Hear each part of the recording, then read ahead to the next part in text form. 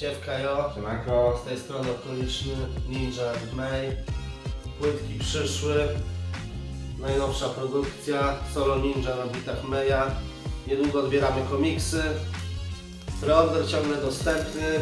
Premiera planowo 20 grudnia wysyłka, jo.